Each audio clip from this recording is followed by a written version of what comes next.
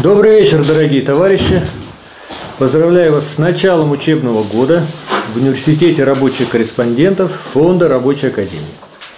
Напоминаю, что занятия проводятся у нас очно каждый четверг 19.00 в этом замечательном помещении, которое нам представляет РКРП. Видеозаписи лекций размещаются на сайтах, на видеоканале Фонда Рабочей Академии. План занятий опубликован э, на сайте Фонда Рабочей Академии Московское отделение, можете ознакомиться. И также звонить по указанным телефонам.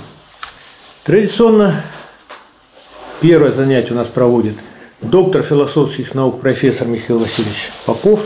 Тема лекции «Организация забастовки». Здравствуйте, товарищи. Ну, эта тема у нас, можно сказать, не новая. В смысле того, что сказать, вопрос о организации забастовок, о том, как это сделать, для чего они нужны, у нас все время обсуждался, так или иначе. Ну и э, на сегодняшний день мы имеем еще и соответствующую литературу. В свое время была издана книга «Введение трудового спора для заключения коллективного договора соглашение наше с Константином Васильевичем Федотовым, которым мы вместе подготовили в свое время проект Трудового кодекса России, который получил 189 голосов депутатов Госдумы, занял второе место после проекта Слизкий, а тот был компромиссный, а правительственный пролетел, Московской городской думы пролетел, Яблочный пролетел, профсоюзный шести, нет, восьми, тоже пролетел, а наш вот проект получил 189. Ну, по иронии судьбы, те, кто издавали вот второй раз, уже написали тот нам не 189, а, 100, а 111 или 121. Да, так что я вот исправляю на 189. КПРФ, который мы критикуем, РКРП их критикует, РПР критикует, они еще когда у нас был последний такой съезд посвященный так сказать, Трудовому кодексу, там, подготовке к, к рассмотрению в Думе, организации митинга перед Думой и так далее.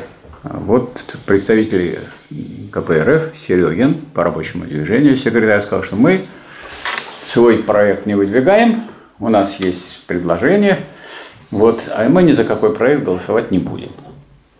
Ну, поскольку вопрос там встал либо правительственный, либо фонда рабочей академии, с которым выступал депутат Шейн, вот, вдруг э, все члены фракции КПРФ проголосовали за, за наш проект.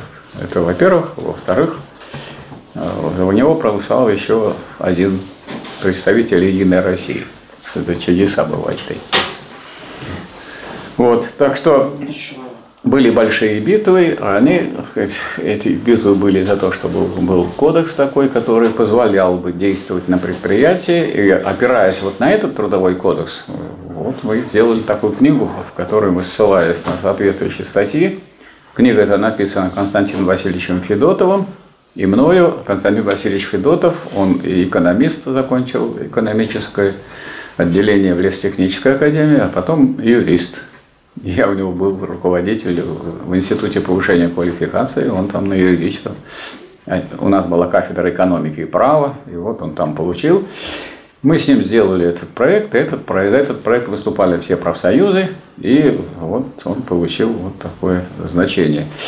И поскольку ну, так сказать, правительственный вообще пропал, так сказать, его так сказать, забили в этом обсуждении, то для того, чтобы удержаться на плаву, пришлось много из нашего проекта взять, поэтому кодекс, который некоторые хотят, вот КПРФ сейчас опять порывается сделать новый кодекс, заодно уже успеть выбросить то, что там есть хорошего. Вот, например, хорошее есть в этом кодексе уже после его принятия, что если вам не выплачивают заработную плату, вы можете больше 15 дней, вы можете приостановить работу, приостановить, не остановить, не путать. Остановить как вы можете остановить? Нет, мы работу не останавливаем, а приостанавливаем. До чего? До выплаты зарплаты. Через минуту принесете, через минуту продолжаю. Через 10 дней принесете, и через 10 дней продолжаю. На рабочем месте могу не находиться. Но мы не советуем. Почему? Потому что ну, на рабочем месте вы контролируете, вы все присутствуете, все знаете, там, вас ни в чем не обвинят. Вот. А работодатель, если ему так сказать, хочется, и вот получается своего рода такая забастовка на рабочем месте, причем забастовка даже единичная, одиночная. Ничего не нужно. Никакого ни коллектива, ни процедуры, ничего. Единственное, что вы должны написать заявление, что в связи с тем-то, что я так сказать, не получаю заработную плату, я приостанавливаю, не останавливая, приостанавливаю свою работу до получения. Это значит, вот после обеда привезут, хорошо, я сразу тут, я уже одетый сижу, ну, могу и переодеться и так далее. Ну, до вечера досидел, завтра, послезавтра. А что я должен читать? Могу читать э, все, что хочу. То есть могу читать э, техническую документацию, э, вопросы охраны труда, техники безопасности, изучить трудовой кодекс до блеска и так далее. Все я могу делать. Вот эти дорогие наши, так сказать, сотоварищи, я имею в виду КПРФ, они вот этот новый затеяли, и первый результат, который может быть из этого, если меня будут толкать, что они вот это все выбросят. Мы же и знаем их хорошо. И еще, когда первый вариант был нашего проекта трудового кодекса, там было три КПРФника, один представитель РКРП. Вот как раз отсюда. И эти самые сказать, товарищи, когда куда-то пропали, оказалось, что они не довели даже до э, Совета Думы. И поэтому он вроде как был внесен, но как-то так он как бы и подписан, и никто его не рассматривал. А уже когда пришел такой э, пламенный Авлиане, Тимураз Георгиевич, он, значит, вот там развернулся, и уже остановить было нельзя. Но зато уже выборы Авлиане на новый срок не состоялись, поэтому депутат Шейн в трех думах проходил этот трудовой кодекс, поэтому нам всем надо следить, чтобы нам не обрушили то, что на чем в том числе и базируются сказать, те права, о которых я сегодня буду говорить. Но поскольку вот, была написана нами с Ведотом вот такая книга «Введение трудового спора, заключение коллективного договора, соглашения», и вот я сюда, вот уже товарищ, принял четыре экземпляра, это я, Степан Сергеевич, вам тоже передам по окончании. Вот, э, значит, можно этим руководствоваться, потому что она построена так. Здесь все необходимые документы, на чем останавливаются люди при организации забастовки. На это надо сделать это. Вот, например, вот, документы значит, для заключения коллективного договора. Тут раз, два, три, четыре. Начинается действие по э, урегулированию коллективного трудового спора. Вот я вам так открываю, видно. Это все перечисление, какие документы должны быть. И все они тут данные. И вот они, да. Действия работников и их представителей на этапе, связанном с возможным продолжением коллективного договора, это еще вот такие документы. Но поскольку Федотов был начальником консалтинга правового отдела в Кравкоме Докеров, первого контейнерного терминала, а я был консультантом этого же самого профсоюзного комитета, и сейчас являюсь консультантом. И, э, сказать, это все тут, сказать, все в действии, все это то, сказать, на основании чего они делали забастовки. Забастовки у них были полуторагодовые. Полуторагодовые. В том числе однажды мы э, приехали к Бужину и предложили ему значит, написать по этому поводу статью. И он написал очень хорошую статью, и газета ее опубликовала. Вот, правда. Вот. И это, конечно, имело большой результат.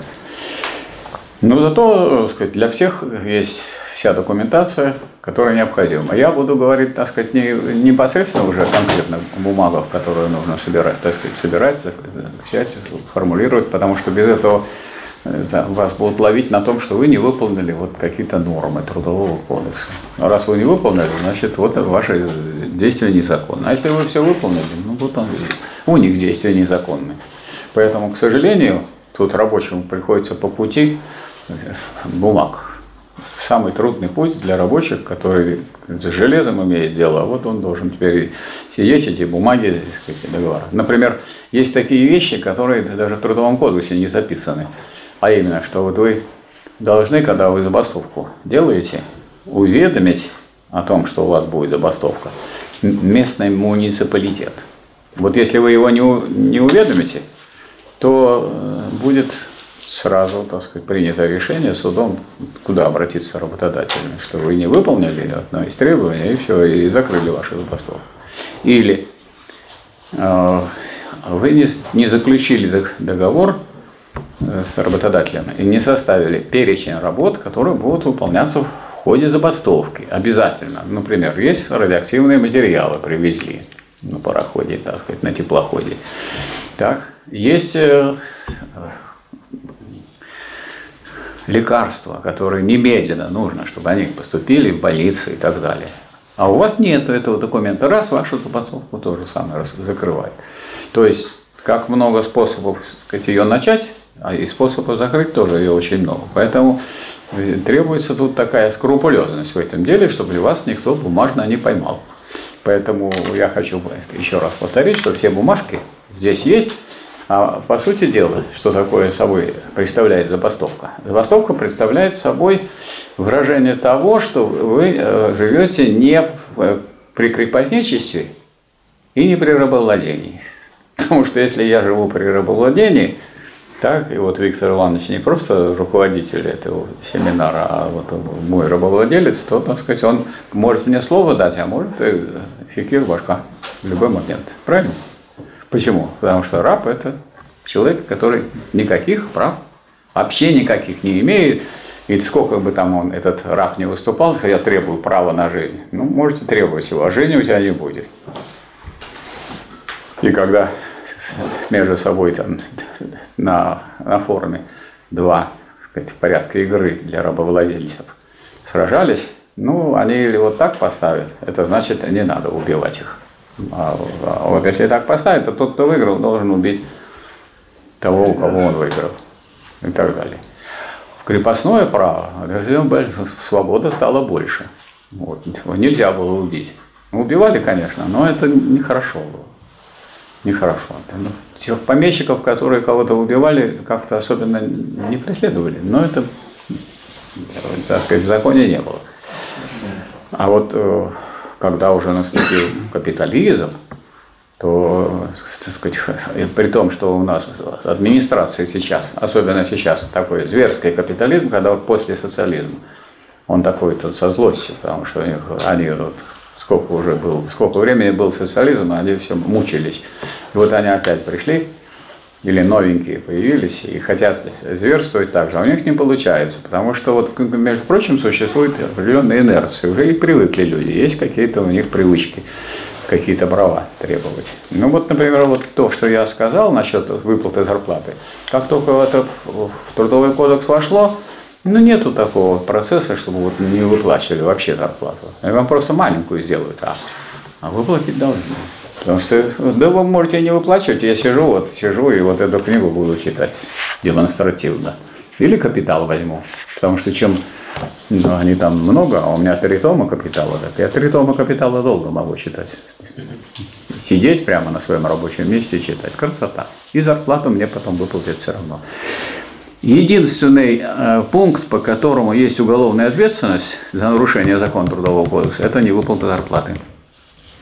И я знаю единственный тоже факт, когда привлекли к уголовной ответственности за невыплату зарплаты тех, тех работодателей, э, которые не выплатили зарплаты работникам, строителям космодрома в Плесецке. Вот, э, так сказать, их там сказать, уголовно наказали. То есть это есть законе. Но так сказать, это такая тоже редкость. А так э, все нормы Трудового кодекса, они носят характер ну, дескать, провозглашение прав. У вас есть право. А если сказать, вы этим правом не дали вам воспользоваться, боритесь. Вы же свободный человек, вы же свободный. Вы сказать, продали свою рабочую силу, но себя-то вы не продали. Вы продали свою способность труду. Раз вы продали способность труду, вот э, в течение рабочего дня он может пользоваться, не нарушая никаких законов. Надо сказать, что это вот, скажем, документ, который представляет собой пособие для тех, кто борется за соблюдение прав работников и за э, организацию коллективных трудовых споров и так далее. А что касается Трудового кодекса, основная масса рабочих или работников вообще не читает этот Трудовой кодекс. А если вдруг вздумает заняться этим вопросом, идут в магазин, покупают вот такой толщины руководство, которое написали люди, которые с исключительно одной э, целью – получить деньги за эту публикацию. Поскольку это, ну, коллеги по, сказать, вот, э, по праву, вот у меня есть ученое звание, профессор по кафедре экономики и права, я этих э, как облупленных знаю. Они деньги очень любят, и все юристы, они все вам помочь, но это будет стоить и так далее. Кругло. Да, кругло будет. Поэтому, а уж трудовой кодекс, ну вот такой же по объему. Прочитать его можно. Не читают. А раз не читают, то не, так сказать, не э, ведут себя как люди, которые живут при капитализме, где свобода. Ну, свобода для кого? Ну, для того, в том числе, который знает закон. Если вы закона не знаете, ну, какая может быть свобода? Никакой не может быть свободы. С вами творят все, что угодно, и причем э, распоясываются работодатели, потому что они чувствуют, что народ не читает, не пользуется, не знает и так далее. Вот. А я сегодня хотел бы обратить внимание товарищей, поскольку мы эту тему так или иначе уже обсуждали не раз, на то, что существует э, вот такая очень большая связь между правами и вот этой самой деятельностью по э, заключению коллективного договора. Что такое коллективный договор с точки зрения правовой? Это он означает, что вы можете изменить, улучшить законы по сравнению с тем, что есть там э, любые законы России, которые так или иначе регулируют трудовые отношения, в том числе и трудовой кодекс, для своего предприятия на срок Три года.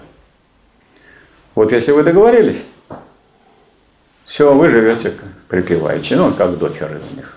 У них там и это должны делать, и это, и вот даже написано, сколько должно быть, поскольку они в холоде работают, значит, у них есть помещение для обогрева, когда и при какой температуре есть приложение к коллективному договору, когда кстати, у нас экземпляры даже есть этого коллективного договора. Когда, при какой температуре они останавливают работу летом, ну, чтобы не, сказать, не упасть замертво, потому что бывает 25 и 30 градусов и так далее. То есть все, так сказать, э, можно тут описать и изобразить, если этим заниматься. То есть коллективный договор в этом отношении – это способ сделать себе права более благоприятные, чем на других предприятиях. Ничего плохого в этом нет, потому что, скажем, ну а вы сделаете тоже, мы уже сделали, вы сделаете, кто-то должен показать пример, а другие могут воспользоваться опытом. Поэтому тут именно так и надо. Надо кому-то быть первопроходцем.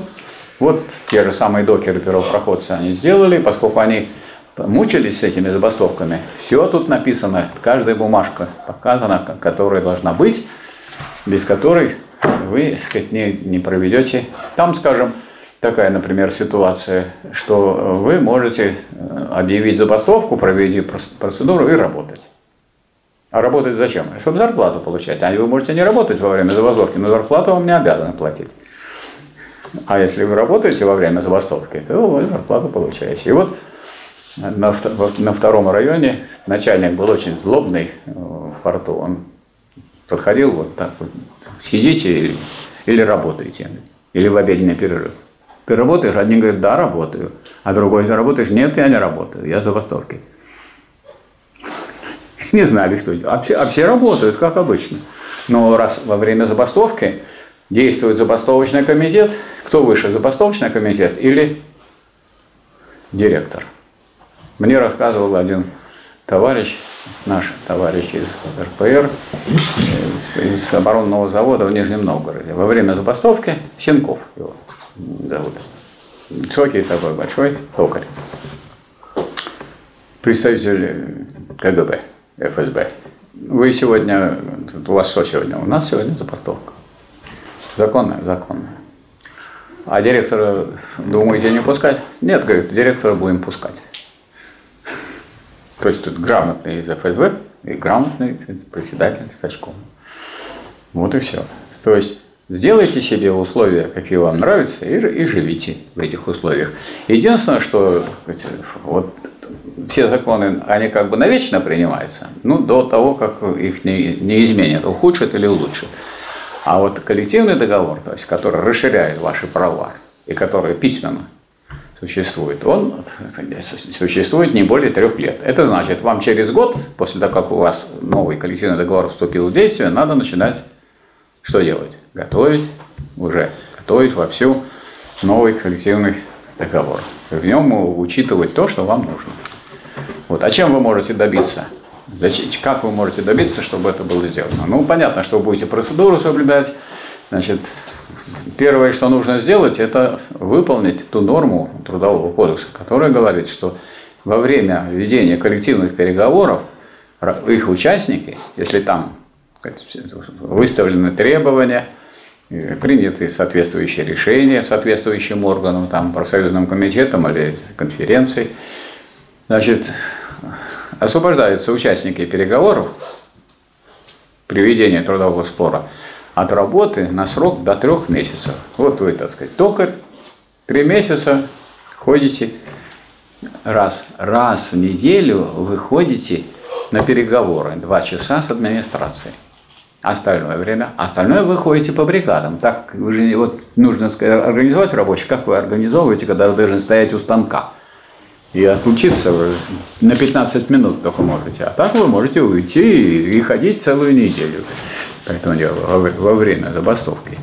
Поэтому забастовка – это великое дело, которое позволяет упрочить, так сказать, свой коллективный договор и на следующий раз получить коллективный договор еще более хороший, чем у вас был. То есть, если вы один раз вылезли, вы вышли на этот уровень, встали на эту ступень, вы дальше будете подниматься. Но иногда бывает несовпадение.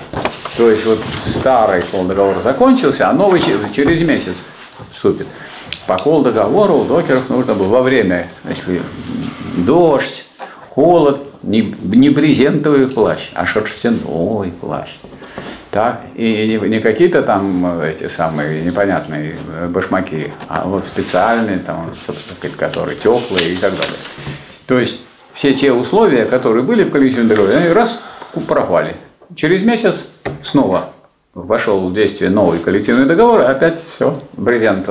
То есть я вот, так сказать, пришел на новую смену, на ночную, мокрый снял, плащ одевал. А тут нет, отдельно, отдельно, значит, э, те, которые сушатся, а есть отдельно сухой, и только сухой может даваться работнику, который идет на работу и так далее.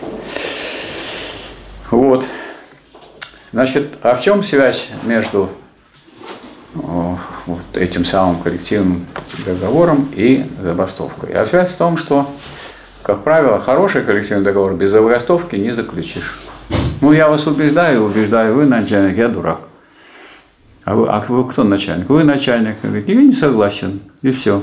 А мы там коллектив, у нас коллектив, мы собрали, у нас большинство и так далее. И вот мы пришли, и нас освободили от работы. Три месяца мы с вами разговариваем, потом нас, так сказать, уже вот с Виктором Ивановичем сказали, все, три месяца кончились, а мы вот этих еще трех теперь на следующие три месяца, и так тоже до бесконечности. А ничего не делается. А вот, э, вот поэтому, когда вы замечаете, что администрация не собирается договариваться, хорошо, тогда мы выставляем требования. Это уже нету никаких договоренностей. Вот, требования какие хотите, такие выставляйте. И никто не может вам сказать, что требования, вот эти, ну, они не должны противоречить закону. Ну, например, например 125 статья Трудового кодекса, или 130 статья, говорит, что а, государство гарантирует повышение уровня реального содержания зарплаты. Ну как вы считаете, она выполняется? Выполняется. А как? Почему она выполняется? А потому что никто не требует. Все требуют индексации. Что такое индексация? Индексация – это выведение вашей реальной зарплаты на тот уровень, уровень, который был в прошлом году. То есть, как только вы получили этот уровень зарплаты снова, в связи с повышением цен реальная зарплата у вас вот так идет. Рисую график.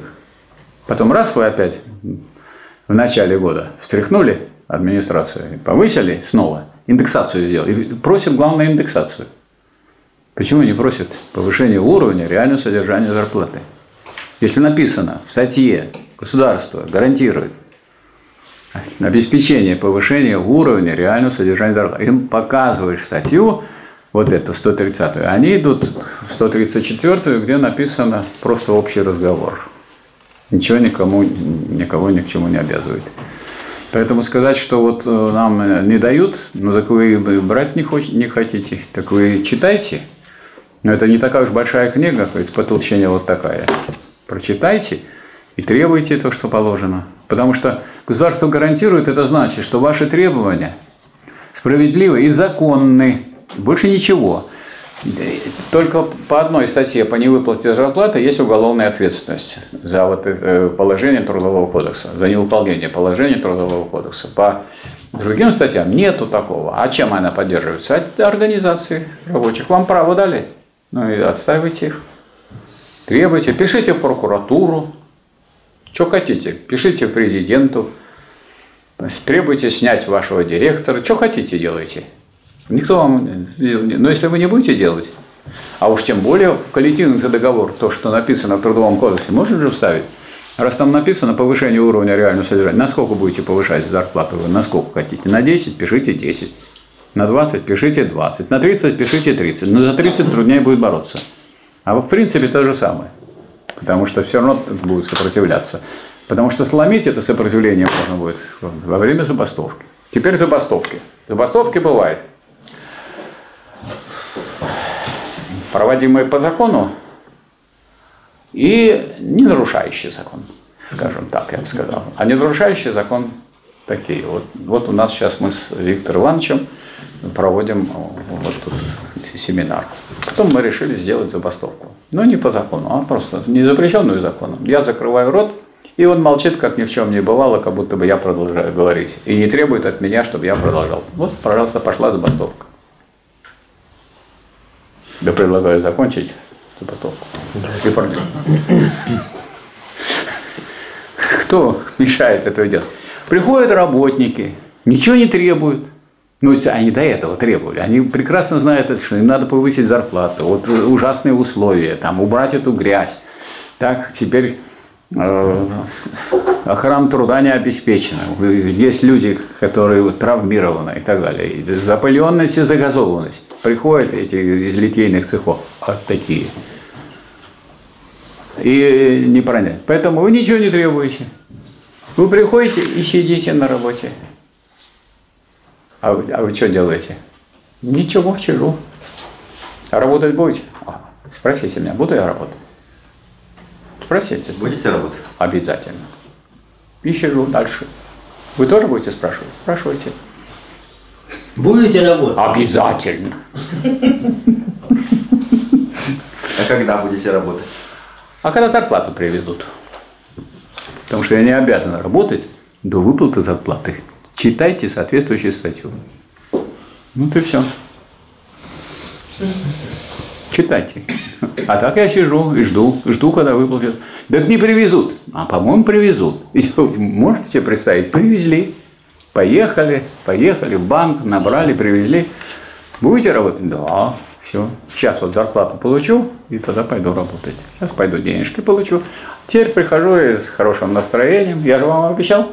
И вам обещал. Все, идет хорошо. Ничего не требует. Не надо ничего требовать. Хотя вроде забастовка это выдвижение требований. Ну что тут выдвигать, сколько раз уже разговаривали на эту тему. Вот. То есть для этого ничего не надо делать. Есть такие, такой способ, что вы никакую процедуру не проходите. Процедура расписана в Трудовом кодексе. Что, как делать, оформлять и так далее.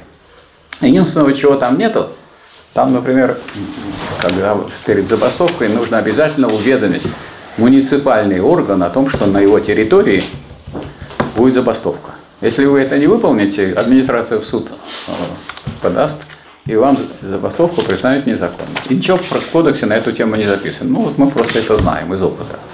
Поэтому обязательно придете. Они обычно вот чувствуют, что будут сейчас приходить, и прячутся эти самые районные администрации. А вы приходите так, внезапно, раз, и сообщаете, и бумажку им о том, что у нас будет вот какого-то дня забастовка чтобы судом нельзя было закрыть. Вот, поэтому, э, значит, есть и такой способ организации забастовки, когда вы ничего, это никакую процедуру не проводите, она расписана вся процедура. Вот здесь, например. И, в, и процедура вся расписана и в Трудовом кодексе. Вы ничего не, ничего не делаете, а просто останавливаете работу и все. Ничего не требуете. Все требования, они знают, что надо делать. Не- не- ничего, не работаете. И сидите и работаете, ничего не делаете. И что администрация подает в суд. Суд принимает у нас э, какое, какое государство, какого класса. Ну вот оно и принимает, как, в чью сторону оно возьмет. Буржуазия. Вот и все, вот, пожалуйста. А мы не сомневаемся. Мы не сомневаемся, поэтому мы сидим все спокойно и не работаем. А, значит, по закону проводимые, проводящие забастовку должны приступить к, работу, к работе на следующий день после получения решения суда. И тут вот сейчас заходит товарищ и говорит, где у вас тут забастовочный комитет треклятый? Не знаете, Виктор Иванович, где Нет, забас- не знаю. знаете? Вы не знаете, где забастовочный комитет? Тюлькин не забастовочный комитет, нет? Где они? Где они? Где забастовочный комитет? Надо вручить вот бумагу о том, что... А вот там, поищите, вот там. Может там, вот там. Может, а говорит, вот, может он в подвале. А другой говорит, а может на крыше. Кто так? Ну а кто приходит? Ну, Кто приходит? Приходит гонец. То есть какой-то работник, э, сказать, при суде, который ходит, э, сказать, разносит бумажки. Он э, время 16 часов пошел домой. Завтра приходит. Опять та же самая история. Ну где скрывается ваш этот самый, а у вас его нету. Вы его не обязаны организовывать. То есть если вы по, вот по закону, как организовывается такая, по праву забастовка, это да. А это стихийная забастовка. Ну вот вам не хочется работать, хоть умри, правильно? За такую зарплату. И мне не хочется, и ему не хочется. И Степану Сергеевичу не хочется. Мы взяли, остановили работу и все. Ну не хочется. А надо? Надо. Но не хочется. А когда начнете еще? Не знаю. Может быть, когда зарплату привезут? Ну и то не знаю. Может, уже надоест так, что вообще не захочется. Короче говоря, уходит неделю этот пристав судебный. Ему-то это не надо. Он же тут разделение труда порабощающее человека присутствует. Он, так сказать, и получил задание, судья-то не пойдет, а судебный пристав. Судебный пристав пришел, бумажку некому вручать. А раз не вручать, после вручения вы обязаны приступить. А вам вручили? Нет. Ну, раз вы не вручили, вы не обязаны приступать к работе, и все. Поэтому и решение суда невозможно выполнить. Привозят деньги. Вдруг. И все. И все заработало.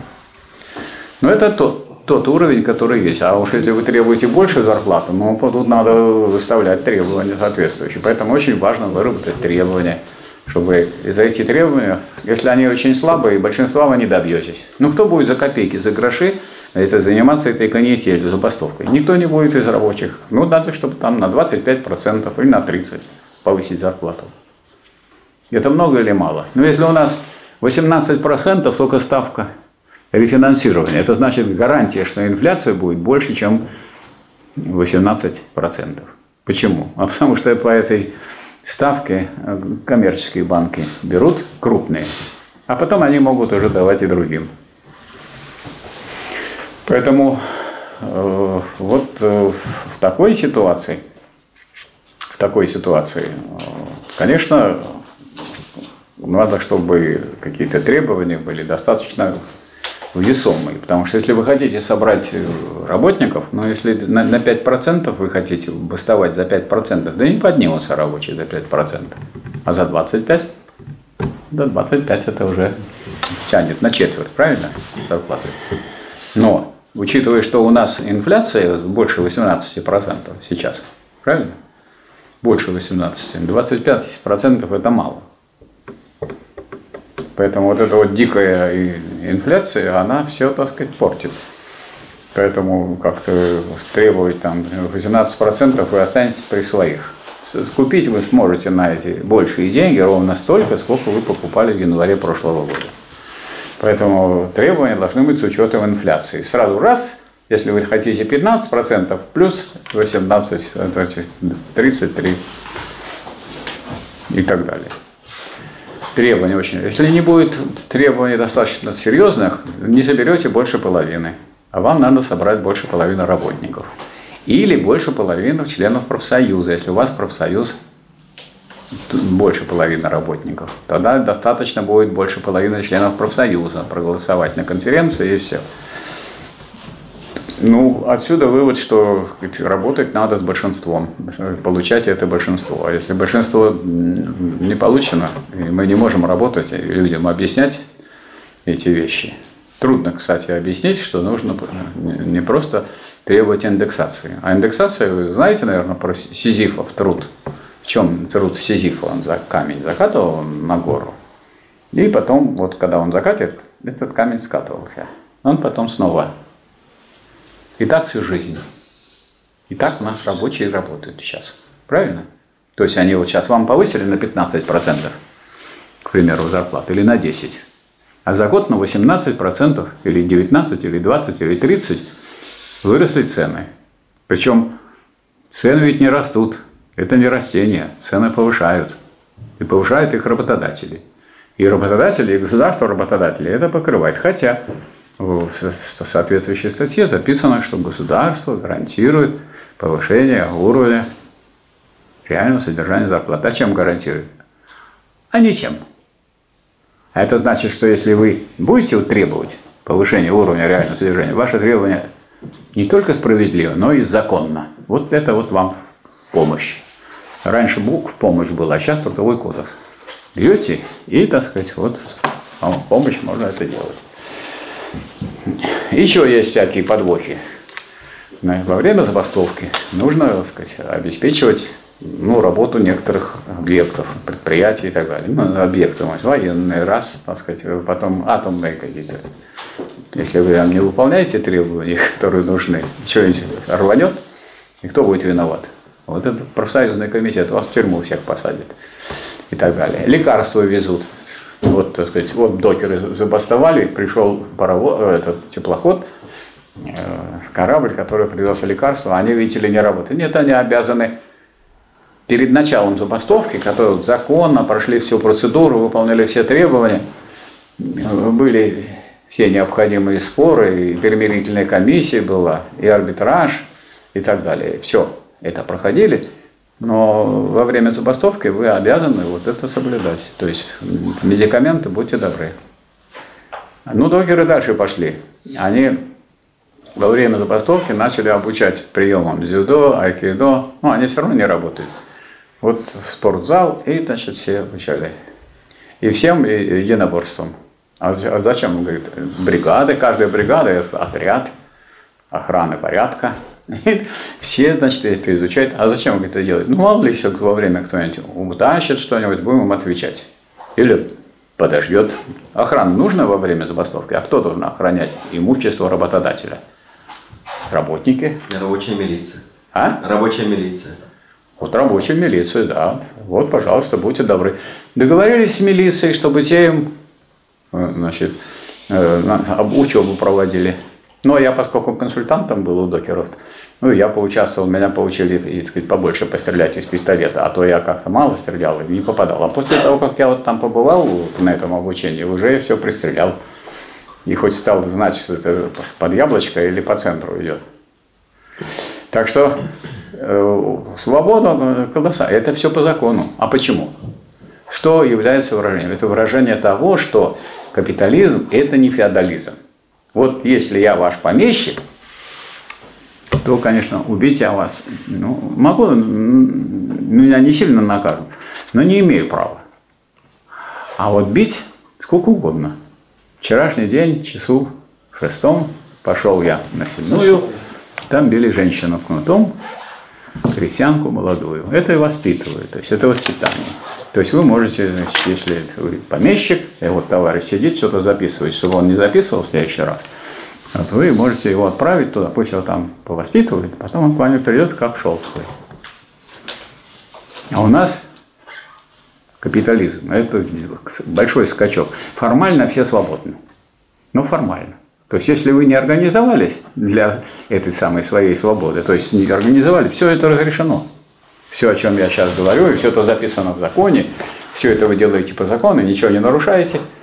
Ну, будете бороться, все получите, не будете бороться, Ну, понятно, власть вы не получите, а вот э, коллективный договор – это закон на три года. Надо все время только этот получили коллективный договор, начинайте новый цикл опять готовить, еще лучше, есть новый и так далее, и все время.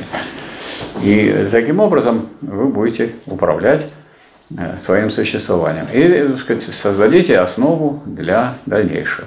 Теперь дальше. Те органы, которые создаются как по представительству от забастовочных комитетов. Как называется? Советы. А? Совет. Советы.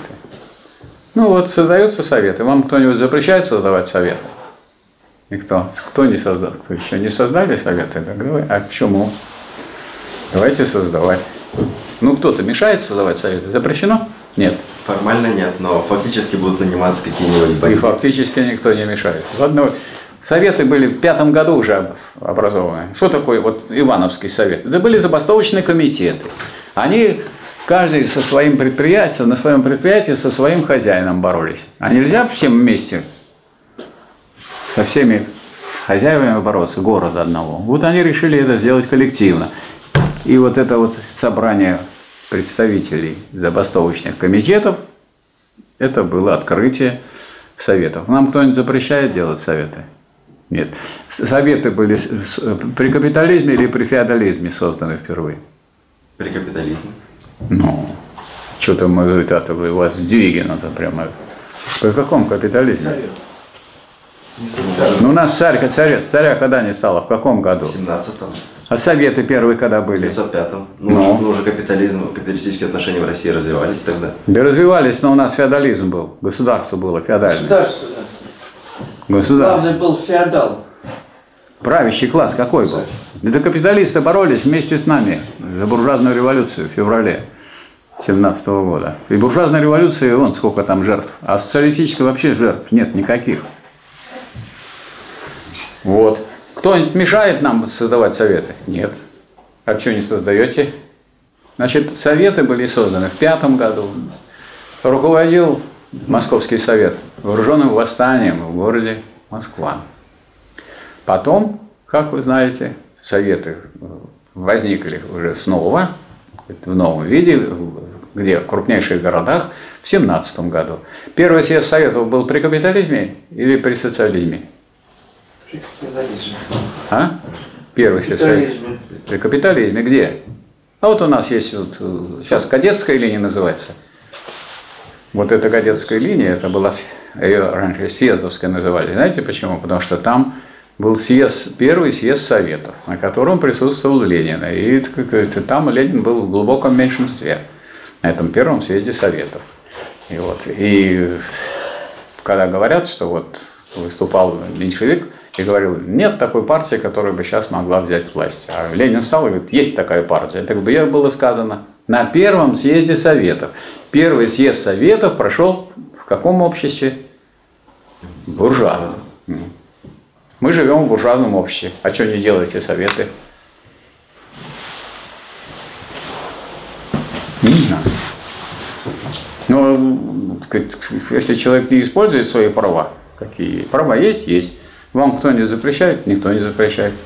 Вот проводим мы заседание там, Российского комитета рабочих. Вот думаем, что надо бы его переименовать теперь. Это уже вполне он заслуживает того, чтобы называть э, Российский совет рабочих.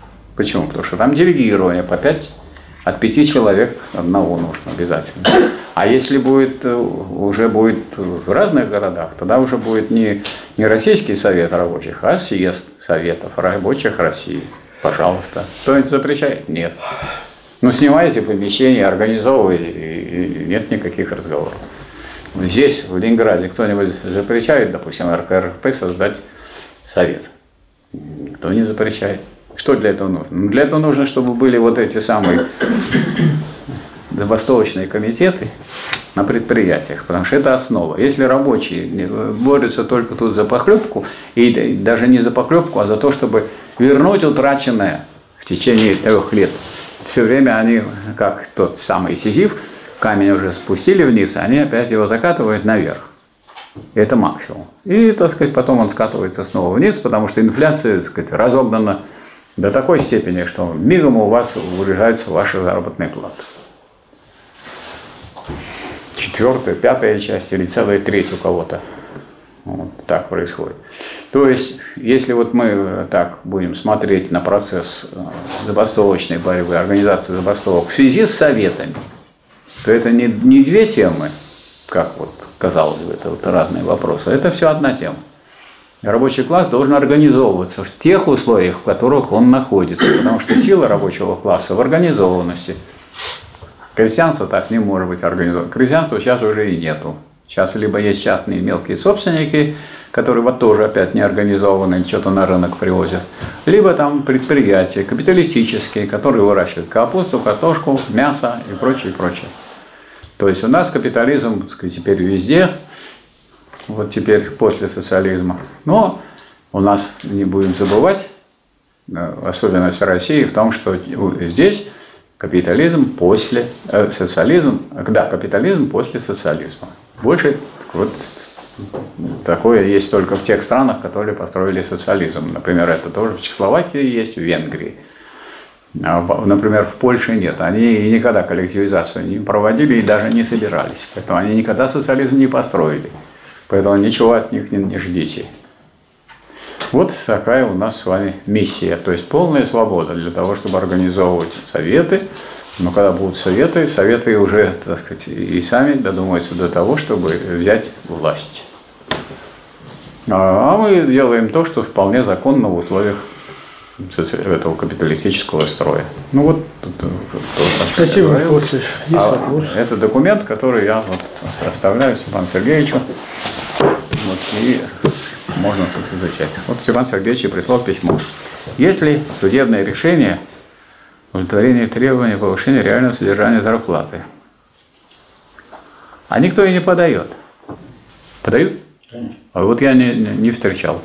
Ну, Дело в том, что я вот агитировал нас. Откуда и родилась вот эта идея? Ага, я вот э, агитировал нашего товарища Французова, чтобы он подавал на эту тему. Он подавал, но, но не в суд. Вот в суд не подавал. Все, он требовал от государства, там туда направлял. А, а почему нет? Не знаю. Вот мне не попадались такие судебные решения. И надо, если есть такое, надо бы, чтобы обнародовать, конечно, Степан Сергеевич, чтобы в газете было и рассказать об этом. Это ценный опыт, который нужно использовать. Да, очень ценный. Ссылаясь на трудовой кодекс. Да, да, да. А если нет, почему? Только потому, что люди свои права, какие у нас есть, не используют. Но если вы не будете использовать свои права, кто же будет за вас э, сражаться? Никто не будет. Освобождение рабочего класса, я сделал рук, буржуазии? Нет, рабочего класса. Вопросы закончились. Есть записавшийся на выступление. Товарищ Милев Игорь Иванович, пожалуйста. Э, так, ну, надо поблагодарить Михаила Васильевича за лекцию, конечно. Э, сначала добавлю немного... В камеру. Да. Сначала добавлю немного по момент о том, что в России нет крестьянства современного, ну, крестьянство в том смысле, в котором оно было в начале 20 века, конечно, сейчас нет. У нас есть фермерство, то есть это крестьянство, производящее на рынок, а не для натурального потребления. То есть э, отношения между фермерами, они э, в каком-то смысле аналогичны тем, которые были между крестьянами. У нас есть и зажиточные, зажиточные фермеры, их можно сопоставить с кулаками, есть среднее фермерство, есть Э, также бедные, там, у которых хозяйство едва существует. Но я э, основное, это как бы в дополнение сказал, но основная мысль моя была в другом и по другому вопросу. Это Ленин вообще говорил, что для того, чтобы классовая борьба состоялась, чтобы произошла забастовка, чтобы она была эффективной, нужны в первую очередь энергичные действия рабочего класса. То есть массовые энергичные коллективные действия. Э, без этого, конечно, никакие рецепты не будут работать, если рабочие не хотят э, или не готовы вот, э, идти до конца. Если взять с точки зрения индивидуальной психологии, то тут рабочий класс, его можно условно подразделить на три категории. Первая категория – это те, кто не, э, верят буржуазии и не хотят бороться. Те, э, вторая, самая многочисленная, это те, кто уже не верит буржуазии и не хотят или не готовы бороться. И третья, кто не верит и борется. То есть первая, они, может быть, она, она малочисленная, те, кто действительно верит в светлый рынок, в том, что, в том, что они получат свой золотой билет, вытянут в этой рыночной лотерее что им золотые горы посыпятся на голову, если они будут работать там по 12 часов в сутки без выходных. Но они, конечно, сегодня таких немного. Это очень маленькая часть, э, наиболее темные, забитые, запуганные, глупые люди. Э, основная масса это все-таки те, кто проявляет какой-то пессимизм. Они уже понимают, что ну, буржуазия не пойдет ни на какие уступки, но они не верят в революцию, они не верят в то, что забастовки реально могут э, изменить их жизнь. И когда кто-то им предлагает бороться, они только отмахиваются говорят, нет, не хотим. Вот это самая, самая многочисленная часть. И и другой полюс, тоже малочисленный, это те, кто готов бороться. Это их можно найти сегодня в независимых профсоюзах, в МПРА, в защите, там, в профсоюзе железнодорожников, соцпроф. То есть это те небольшие люди, крупицы общества рабочего класса, которые действительно уже готовы бороться, но в силу своей многочисленности они пока что... Мало Да, мало, мало что могут изменить в одиночестве. Э, поэтому Нужно в первую очередь э, работать с вот этой вот широкой частью рабочего класса, которая э, проявляет пессимизм, и направлять ее именно в русло классовой борьбы. А как это сделать? Просто рассказывая, что вот вы повысите там на 15% зарплату, это на самом деле маленький результат даст, потому что люди не готовы идти на какие-то жертвы определенные, э, там, жертвы личным временем там, или даже работой ради каких-то несущественных достижений людям нужно строить образ э, великого будущего, к которому они стремятся. Поэтому здесь я хотел вот добавить, что э, экономическую борьбу, о которой говорил Михаил Васильевич, ни в коем случае нельзя разрывать с борьбой политической. И рабочим уже сейчас нужно, как бы, э, в первую очередь, разоблачать антисоветские мифы про все про это, про Голодомор, Катынь, Галоши, ГУЛАГ, вот это вот все, что накидывает буржуазия перед тем, как снова наступить на право трудящихся. Это надо разоблачать и показывать, насколько насколько жизнь в Советском Союзе действительно была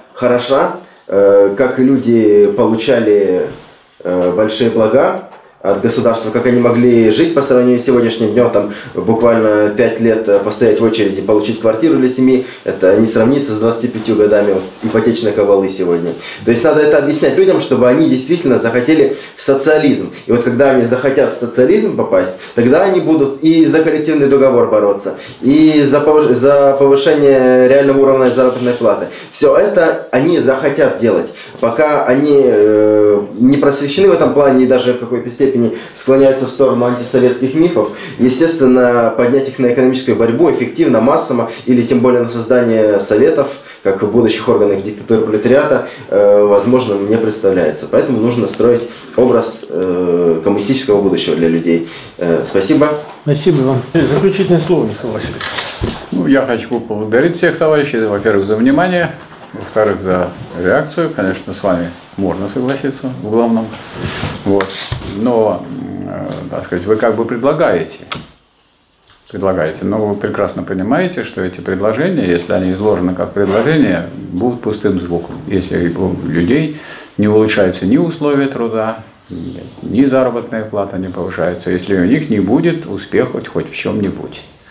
Поэтому для этого есть соответствующие формы. А формы существуют уже в условиях капитализма, и поэтому надо не, не просто замахиваться на социализм, дескать, мы его получим. Вы его получите после революции. А революция – это очень острая классовая борьба и требующая в том числе и жертв. Хотя вот наша революция жертв, в общем-то, таких больших не потребовала. Так получилось. Так получилось, что вот сейчас ищут жертв. Вот есть жертвы февральской революции, вот, пожалуйста, там целый э, пантеон гра- гранитный создан. А где жертвы революции-то Октябрьской нету? Вот, поэтому призывать людей, так сказать, просто к, к светлому будущему социализму без дорожки, это означает, так сказать, это какой-то светлый образ, но дороги к нему нет. А на самом деле дорога к нему через классовую борьбу. И если человек не может даже побороться за свою зарплату, он плохой борец за социализм. Потому что он ждет, что какой-то кто-то ему принесет на блюдечке с золотой каемочкой социализм. И, скажем, социалистическая революция, она потребует каких-то жертв. И не обязательно это жертвы в том смысле, что люди погибнут, а в том смысле, что надо пожертвовать и временем, и силой. Ну, скажем, все члены РКРП жертвуют своим временем для того, чтобы это приблизить, о чем вы говорите. Вы идите в партию тогда, вы чего вот это вот? Нагитировали много в партию, вы же всем обещаете социализм. Ну и как у вас здорово, сколько миллионов? То есть вот вашу я, так сказать, эту самую линию принимаю, давайте. Ну, в чем дело? А то вы так ставите вопрос, как будто у нас разногласия есть. У нас нет разногласий, если есть люди. Мы все позитивно рассказываем про социализм. Если мы про что-то рассказываем, то обязательно позитивно про социализм. Но надо прекрасно понимать, что надо, это, чтобы не было разрыва. Что это, сказать, социализм есть борьба. Или, как Ленин определял диктатуру пролетариата, не в великом почине, там, где просто так, что это вот то, что рабочий класс должен руководить, а в детской болезни левизны в коммунизме. Диктатура пролетариата – это когда уже власть была, это упорная борьба, кровавая и бескровная, военная и хозяйственная, педагогическая и административная, насильственная и мирная против сил и традиций старого общества. Мы не только не должны рассказывать, как будет все здорово, а наоборот, надо рассказывать. И при социализме, если вы вот так будете, как сейчас сидите – как лопухи, так сказать, вас эксплуатируют, а вы ничего не делаете. Ваш социализм быстро, вот, так сказать, загорится и тут же потухнет, как тот костер, в котором бумага сгорела, а бревна не положены. Потому что социализм есть классовая борьба, если коротко говорить. И социализм есть диктатура пролетариата. Вот я думаю, что это нас с вами, между прочим, и соединяет, потому что здесь собрались те, которые выступают за диктатуру рабочего класса. А надо к ней идти уже сейчас. Спасибо, Михаил Васильевич. Значит, встречаемся в следующий, следующий четверг, 10 октября. Тема э, о текущих проблемах организации профсоюзов медицинской отрасли расскажет председатель секции скорой медицинской помощи Межрегионального профсоюза действия Григорий Вячеславович Бобинов. У них там большие победы да. сейчас. Вот у кого большие. Миллионы прямо сейчас. Спасибо, дорогие товарищи.